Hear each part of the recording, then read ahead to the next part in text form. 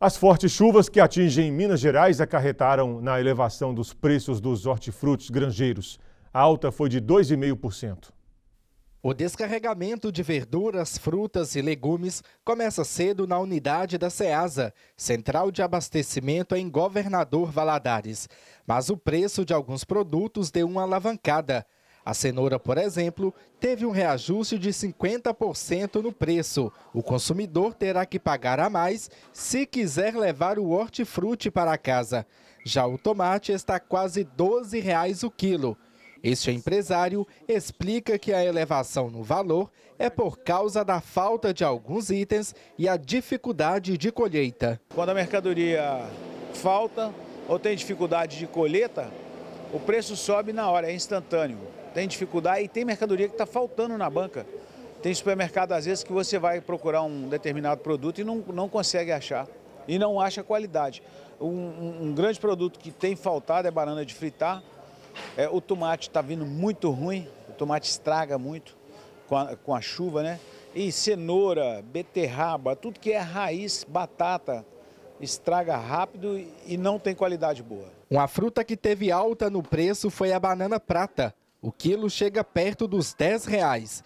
De acordo com gírios, parte das mercadorias chega com qualidade comprometida. Tem chegado com péssima qualidade, porque a chuva, é, ao contrário do que todo mundo pensa, acha que a chuva ajuda, a chuva não ajuda. A chuva com excesso, igual está acontecendo agora, ela estraga muita mercadoria. Então, tem dificuldade para transportar a mercadoria, tem dificuldade para colher. E a mercadoria vem com muita. Ela está muito hidratada, ela estraga rápido. Em contrapartida, alguns produtos ainda mantêm o preço de mercado, como a cebola, que chega a custar R$ 5,00 o quilo.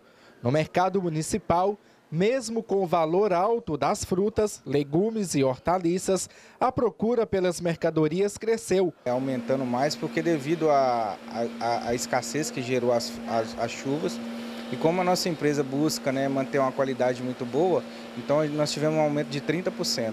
Ele lista outros itens que estão mais caros e acredita que os preços devem se manter por pelo menos mais um mês. O tomate está com muito problema né, nas hortas, a batata, por, devido aos locais que elas são colhidas, né?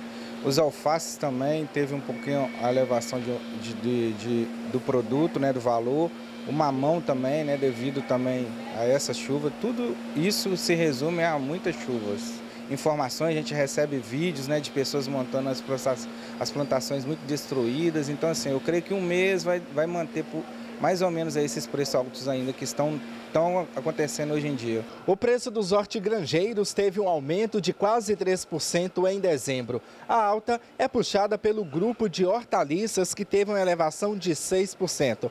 A justificativa são as chuvas fortes que atingem as regiões produtoras. Algumas frutas, quando observadas individualmente, apresentam queda nos preços. O melão amarelo pode ser encontrado por R$ 7,99 o quilo. O limão Tahiti, que entra na safra, atinge os R$ 4,99.